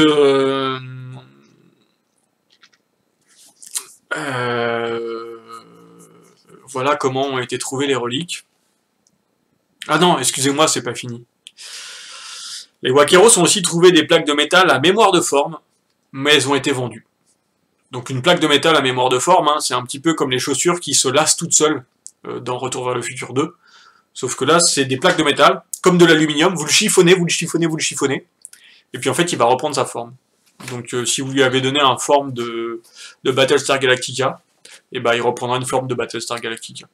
C'est génial. Ça a été vendu, alors je ne sais pas à quoi ça va servir. Euh, et parce que vous pensez que ça va être fini, non, ce n'est pas fini, puisque, toujours chez Yves Herbeau, le 11 février 2017, donc il y a un an, tout pile, enfin tout pile, non pas tout pile, parce que je suis à la bourre, mais il y aurait eu un an tout pile si j'avais été euh, à l'heure, euh, Thierry Jamin nous explique à 11 minutes 57, ils ont poussé une pierre, il y avait une espèce de pierre dans la paroi, ils l'ont poussée, et plutôt que de la pousser, et eh bah, euh, la pierre s'est ouverte vers eux. Euh, donc pourquoi pas un mécanisme ou autre, ça, ça peut... Moi j'ai envie de dire pourquoi pas. Hein, Et derrière cette pierre, il y avait un escalier. Ils ont descendu l'escalier, et ils sont arrivés dans un genre de salon, dans une espèce de salon, et au milieu, il y avait une momie de princesse Inca, qui avait des vêtements magnifiques de noblesse, des bijoux dans les cheveux. Elle semblait avoir 11 ans, et elle semblait dormir paisiblement, elle était en parfait état de conservation. Donc, je vous ai pris les, éléments un petit peu euh, les plus caractéristiques hein, de... Euh, donc, pour répondre à la question de M6, je ne sais plus où j'ai balancé ma fiche. Euh, si, juste ici, hop, voilà. Alors, la question de M6, c'était comment l'explorateur a-t-il pu mettre... Comment l'explorateur a-t-il pu mettre la main sur ces créatures Voilà. Euh, donc il y a un an. Il y a un peu plus d'un an maintenant, parce que le reportage a été tourné il y a un bail. Euh, il y a un peu plus de... Enfin, ouais, il y a, deux ans peut-être maintenant. Euh, il y a un gars qui est venu toquer à la porte de Thierry Jamin. Et il lui a dit, mec, j'ai croisé des farfadets il y avait des petits animaux, des, momies d'animaux avec des ailes, la fameuse fée péruvienne. C'est un wax qui est bien connu. Et euh, il y avait des farfadets, j'ai trouvé des trucs aliens. 100 000 dollars. Voilà Moi, je ferai pas trop confiance à, des gens qui prennent un peu trop de cocaïne comme ça, mais bon, pourquoi pas. Et justement, 66 minutes a rencontré Mario, le fameux revendeur. Ça se passe à 9 minutes 38, dans le désert de Nazca, dans le sud du pays. Mario est recherché par la justice pour atteinte au patrimoine. C'est justement lui qui a confié à Thierry ces fameuses momies. Sauf que quand on lui demande où est-ce qu'il les a trouvées, euh, comment, dans quel contexte, euh, il veut pas répondre. Il veut absolument jamais répondre euh, au sujet de ses découvertes. Ce qui est plutôt dommage. Et à 10 minutes 35, il va nous dire, franchement, j'avais jamais vu de momie Je bafouille beaucoup, je suis désolé, je suis un peu fatigué. À 10 minutes 35 du reportage, Mario va nous dire « Franchement, je n'avais jamais vu de momie comme ça de toute ma vie. » Le journaliste va lui dire « Certains disent que ces momies ont été manipulées. » Mario dit « Ça ne fait rien, qu'ils pensent ce qu'ils veulent, j'en ai encore une comme ça à la maison, elle est géniale, et en plus, je la vends 100 000 dollars. » Le mec, c'est son business. Hein. Euh, il va pas vous dire qu'elles ont été trafiquées, il y a des gens qui en achètent. Alors, vous êtes en train d'interroger un pilleur de tombes qui gagne sa vie en revendant des artefacts archéologiques et des momies, trafiquées ou non, à des collectionneurs. C'est pas pour vous faire un petit peu la leçon, mais ce genre de trafic, ça existe depuis le 18e, 19e. Et il y a toujours des gars qui ont répondu à la demande. À l'époque des crânes de cristal, c'était ça. Euh, il y a un mec, j'ai plus son nom, il venait chercher des traces d'une civilisation particulière, et en fait, les pires de tombes qui lui ramenaient les artefacts, il les fabriquait au fur et à mesure. Je suis désolé, mais là on a exactement pareil avec euh, Alien Project. Hein. Euh, si on passe de... Euh, est-ce que je peux... Ah non, ça c'est... Non. Regardez. On passe de ça, la toute première momie. Un fake, éhonté. Même Thierry Jamin nous dit maintenant que ça c'est de la merde. On arrive à ça qui est déjà un petit peu mieux. Et ensuite, on arrive à Maria, Maria qui est euh, qui est une momie on a juste euh, mutilé les mains, mutilé les mains, les pieds et la mâchoire, et c'est une momie quoi. Il n'y a rien de, il y a rien de plus de plus concret que ça. Le gars qui revend les momies, il s'adapte juste à la demande. Il voit que les analyses, elles sont poussées, elles vont loin, et donc il s'adapte. Voilà. Ah merci, il y en a qui me dit les pierres d'Ika, voilà, ce que je cherchais. Euh, c'est exactement le même principe que les pierres d'Ika. C'est des gars qui fabriquaient les pierres au fur et à mesure pour des chercheurs qui venaient, et des chercheurs qui croyaient euh, en la bonne foi des mecs qui leur ramenaient des pierres. Donc, euh, donc voilà, c'est, il faut, il faut vous rendre compte de tout ce contexte avant de croire n'importe quoi, honnêtement. Mais, j'ai envie de vous dire, il se pourrait très bien que, euh, que ça soit vrai. Mais pour ça, il faudrait faire quelques analyses. Et attention, 11 minutes 15 du reportage, on va donner la parole à des spécialistes. Bon, en fait, non, ça dure 35 secondes et c'est un archéologue, euh, enfin un archéologue officiel du gouvernement qui va dire non, enfin ça c'est de la connerie. Et après, on repasse sur Thierry Jamin qui, depuis un an, va tous les mois dans le désert de Nazca. On sait pas pourquoi, s'il se ressource, s'il cherche des trucs ou quoi. Et euh, à 12 minutes 15 du reportage, on se retrouve devant un graffiti taillé dans la pierre avec un bonhomme qui a des plus à la place des mains. Et Thierry Jamin nous dit « Hey, vous voyez ça? C'est bien la preuve qu'il y avait des aliens avec trois doigts. » Parce qu'en fait, le bonhomme, il a son bras, il a trois doigts. Et voilà. Sauf que il y a personne pour nous dire de quand date ce graffiti. Il n'y a personne pour nous dire si, euh, si le graffiti il est réel ou pas. Peut-être que c'est juste un fake hein, qui a été fait ça la semaine dernière. Euh, et Thierry Jamin nous dit N'y aurait-il pas eu dans la région un contact entre un peuple exogène et les humains du sud du Pérou? Ouais, peut-être. Mais est-ce que c'est le graffiti qui va nous le dire, quoi? Donc, euh, il n'y a rien pour authentifier ce graffiti, donc On peut, on peut remettre en doute la crédibilité de ce... Enfin, peut-être que le graffiti existe, mais c'est pas parce qu'un bonhomme a des croix à la place des mains que ça veut dire qu'il avait trois doigts. Si ça se trouve, c'est des outils c'est peut-être peut-être une représentation d'un outil, d'un râteau, d'un enfin, ça peut être n'importe quoi, mais c'est une représentation graphique, c'est pas euh... il faut pas surinterpréter. Et là, on est encore dans le biais de confirmation.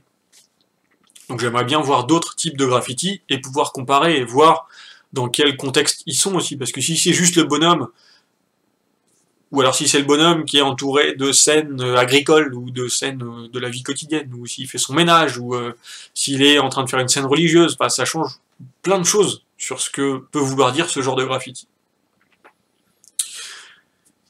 La M6 nous emmène à 13 minutes, et on nous dit que pour observer les géoglyphes de Nazca, parce qu'on se balade dans le désert de Nazca, on nous dit que pour observer ces géoglyphes, il faut être à 13 000 mètres d'altitude.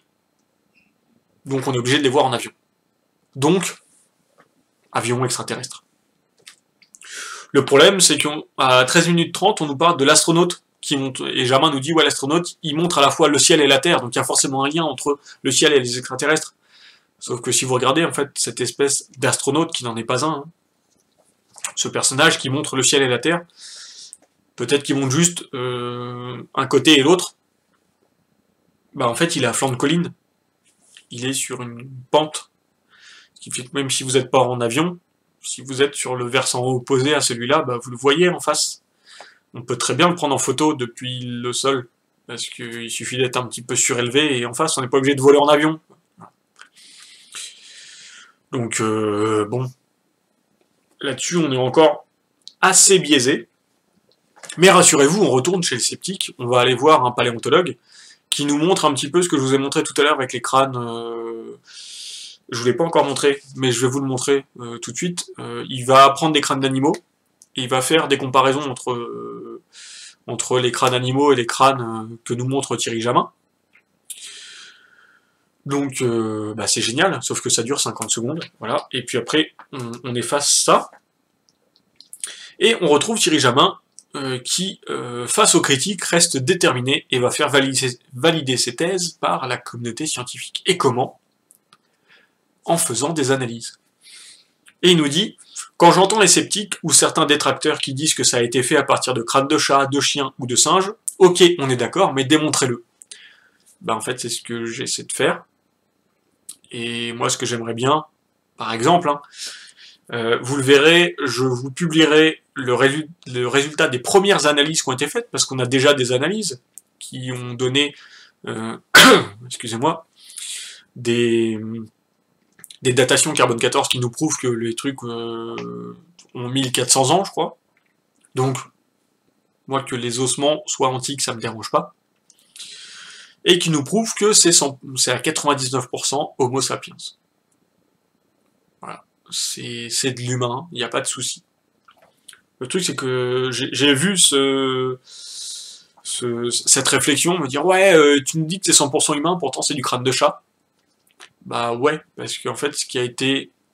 Euh, L'ADN qui a été euh, séquencé vient du petit cerveau à l'intérieur du crâne, et non pas du crâne en lui-même. Moi, j'aurais bien aimé qu'on prenne un morceau du crâne, et qu'on l'envoie en analyse ADN pour voir si c'était du chat, du chien, du chacal, euh, ou de l'alien, parce que dans ce cas-là, on s'en rendrait pas compte. Donc voilà, j'aimerais beaucoup ça, mais ça n'a pas été fait. On choisit bien les échantillons qu'on va envoyer, et c'est très bizarre. Donc, Thierry Jamin veut qu'on démontre des choses. Bah voilà. Un montage qui a été fait par Stop Science, et c'est pour ça que je le réutilise, je me le, je me permets, hein, parce qu'il m'a dit utilise mon boulot, euh, fais-toi plaisir. Euh, tout est marqué, donc j'ai même pas besoin de vous expliquer plus que ça. Vous voyez le crâne de chat euh, du haut, en haut à droite, un crâne de chat vu de haut. Vous voyez l'arrière du crâne de chat avec les flèches de couleur, ça correspond. Enfin, les, chaque flèche de couleur correspond au, flèches de couleur. Enfin, il n'y a, pas... Il pas à du fion. Hein. C'est vous voyez, la zone bien dense dont je vous parlais, c'est l'oreille interne, elle est entourée en jaune sur les deux. Euh, la zone qui a été cassée, on la voit aussi. Euh, ce, que, je peux vous montrer aussi comme, euh, information, c'est un truc que moi je trouve assez intéressant. Hein. c'est une comparaison entre une radio humaine et une radio du crâne alien. Donc comme, on vous le disait, euh, l'os de l'oreille interne qui est le plus dense, comme les dents, il se voit vachement bien. Les dents euh, ressortent extrêmement bien de la radio chez l'humain. L'os de l'oreille interne, pareil, vous voyez qu'il ressort bien. Alors il y a un petit cercle blanc, je ne sais pas ce que c'est, mais euh, je suis pas certain que ce soit le conduit auditif, mais voilà. Euh, donc vous avez vous avez donc l'os arrière l'arrière du crâne de chat qui forme enfin, la face de cet alien, avec le, trou pour la colonne vertébrale que je vous disais à la place de la bouche. Alors vous noterez que cet alien n'a pas de dents, cet alien n'a pas de vertèbres, enfin on voit pas son cou, euh, c'est un, un espèce de, de mélange de trucs un peu bizarres. Enfin, c'est, il a, a même pas de crâne derrière enfin l'arrière de son crâne. En fait, curieusement, là où la mâchoire de chat a été coupée et cassée, vous voyez qu'il n'y a pas d'épaisseur de crâne comparé à ailleurs. Enfin, c'est c'est assez dingue de, voir qu'il y, y, a un creux comme ça. Enfin, c'est c'est assez impressionnant et je voulais vous montrer vraiment cette comparaison parce que euh, vous voyez le conduit auditif sur le crâne alien, mais il n'y a aucun espace pour les yeux, alors que chez l'homme, les orbites, vous les voyez bien. Vous voyez le renfoncement, vous voyez le, enfin, le, la mâchoire, vous voyez comme elle est installée. Là, sur, le, sur ce crâne alien, il y a vraiment que dalle. Et je vous remets le comparatif avec le chat. Bon, là, la tête est dans l'autre sens. J'aurais dû peut-être retourner les images pour que ça soit, euh, pour que ça soit un peu plus, euh, un peu plus propre. Mais euh, mais non, enfin, il y a, vraiment, y a vraiment des gros problèmes. Il faut, il faut connaître, euh, enfin, il faut, le comprendre. Il faut, vraiment vous rendre compte de tout ça. Je vous... Oh, tiens, hop, je suis, je suis flou, je suis flou. Ouais, je suis flou. Allez, refais le point sur moi, petite caméra. Non, elle ne veut pas. Allez, on fait le point. Ah, bah, je suis flou, je ne sais pas pourquoi. J'ai dû trop m'avancer, ça lui a pas plu. Euh, Ouais, non, on va essayer de refaire le... Attendez, hop, excusez-moi, je fais ça vite fait. Vas-y, fais le point, fais le point. Voilà, là c'est mieux. Magnifique. À 16 minutes 10, on a un morceau de vertèbre de Maria qui va être analysé dans, la, dans, qui va être analysé dans un laboratoire aux États-Unis afin de décrypter l'ADN de cette créature et la dater. Bon, on attend ces analyses, même si on en a déjà, qui nous viennent d'un laboratoire au Canada, et le laboratoire canadien nous dit que c'est humain, que c'est Homo sapiens, euh, nous a donné pas mal de datations. Et surtout, cette analyse était totalement gratuite. Et ça, c'est assez ouf, parce que euh, à 16 minutes 40, on nous dit que l'analyse coûte 8500 euros.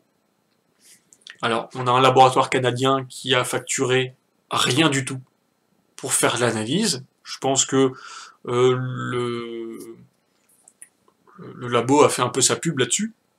Mais 8500 euros pour une analyse, il y a vraiment du foutage de gueule, honnêtement. Si vous voulez séquencer entièrement, enfin si vous voulez séquencer euh, de l'ADN humain, c'est 900 euros. Si vous voulez une datation carbone 14, c'est 250 euros si c'est urgent. Qu'est-ce que je peux vous dire de plus Et là, le reportage prend fin à 17 minutes. Pour vous résumer, et là je vais être, euh, assez critique envers M6, on a un reportage d'investigation, hein. même si ça reste, c'est pas du divertissement, c'est pas une fiction, c'est un reportage, donc ça doit être vrai. On a 14 minutes de reportage, on a 1 minute 25 de paroles données aux sceptiques. Donc on a 12 minutes 35 de bullshit. Alors que toutes les preuves qu'on a, on n'a aucune preuve qui nous dit que c'est extraterrestre.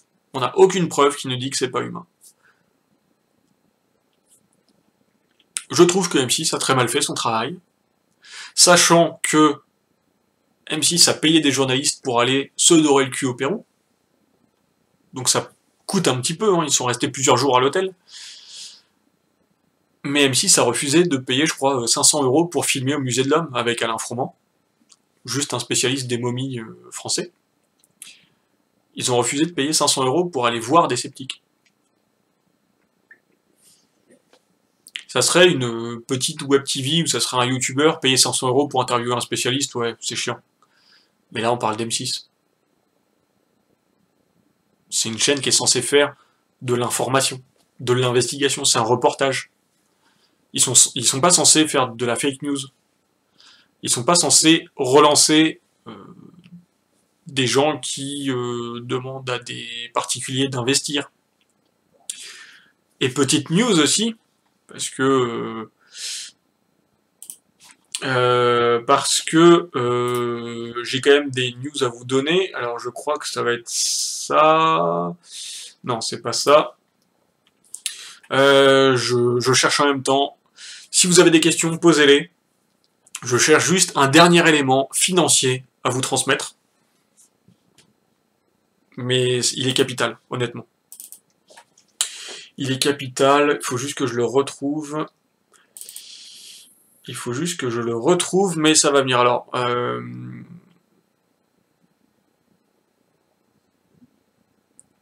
alors je ne crois pas que M6 ait acheté directement un reportage tout fait. Parce qu'apparemment, c'est vraiment les journalistes d'M6 qui sont, qui sont allés là-bas. Et euh, M6 a demandé au musée de l'homme s'il pouvait, euh, s'il pouvait euh, filmer. Et euh, le musée de l'homme a dit bah ouais, pas de souci. Euh, vous venez, par contre ça coûte tant. Et ils ont fait bah non, allez vous faire foutre, quoi. on va pas payer pour, pour filmer. Quoi. Euh, donc, je vais quand même vous dire euh, deux, trois choses. Porto Rico, alors, euh, il y a un laboratoire qui est censé faire des analyses ADN à Porto Rico. Depuis le dernier ouragan, Porto Rico ne répond plus. D'après Thierry Jamin. Ce que je peux vous dire, c'est que euh, notre très cher Gollum Illuminati a discuté avec ce laboratoire cet après-midi. Donc de dire que le laboratoire ne répond plus, j'ai envie de hurler bullshit, mais j'ai des voisins donc je ne vais pas crier, mais bullshit quand même. Donc le laboratoire répond tout à fait, peut-être tout simplement que les analyses ne plaisent pas à Thierry Jamin. C'est une supposition, je n'accuse personne, mais c'est ce que je pense.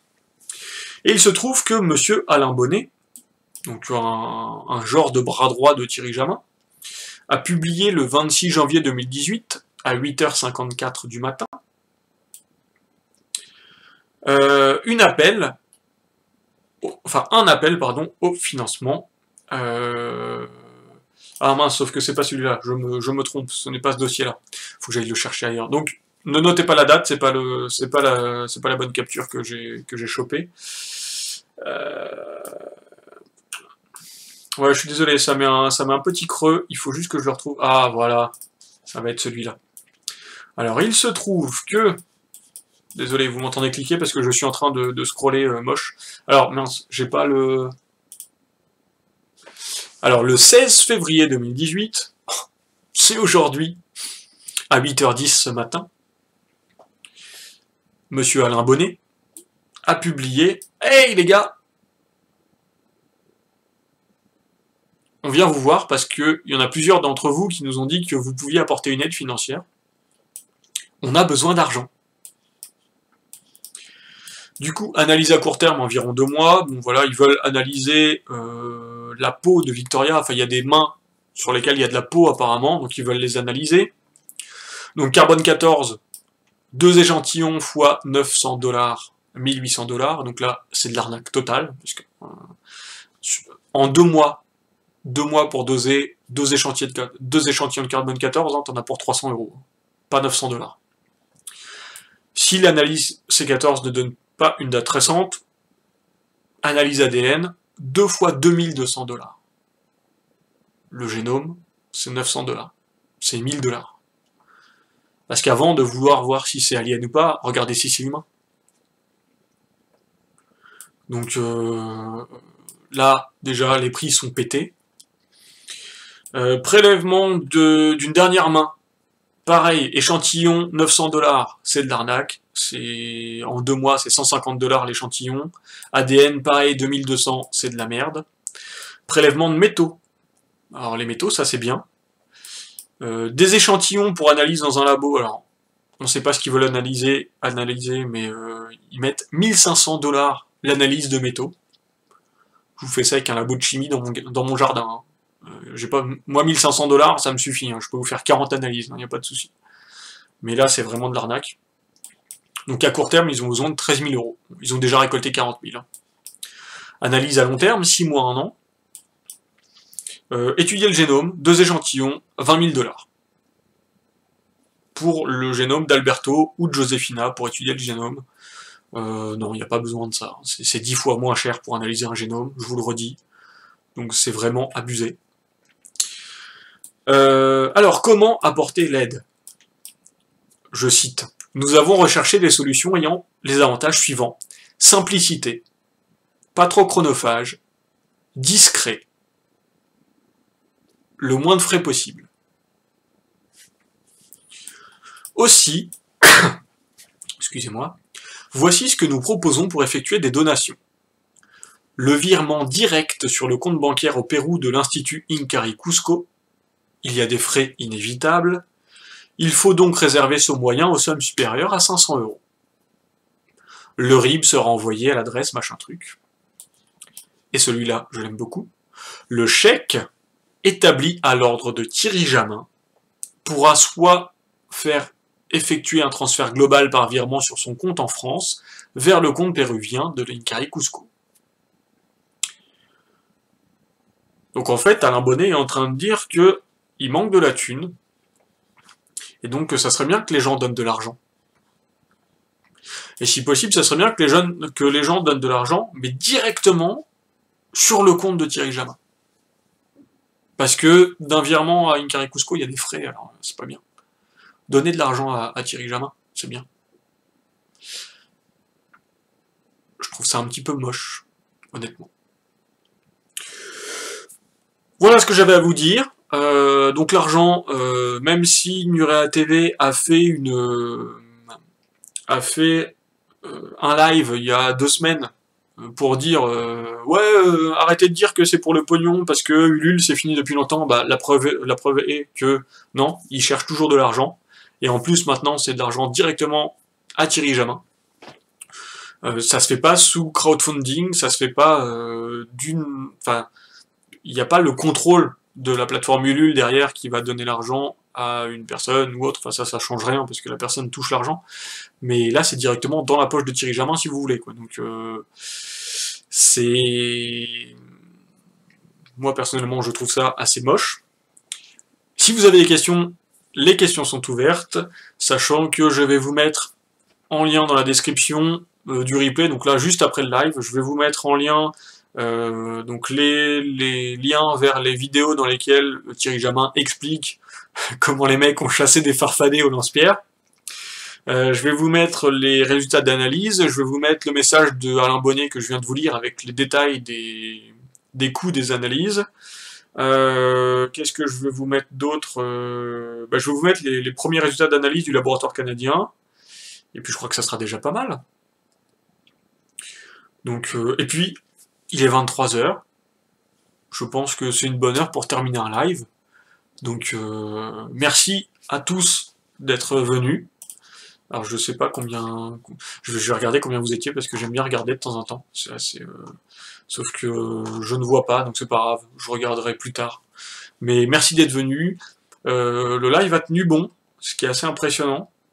je, je, suis pas habitué à ce que ça fonctionne. Donc c'est assez c'est assez fou de, voir que ça marche bien. Euh,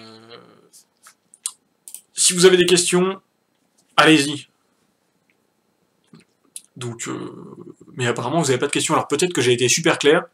Si vous avez des questions, posez-les dans, les, dans les commentaires du, du, replay.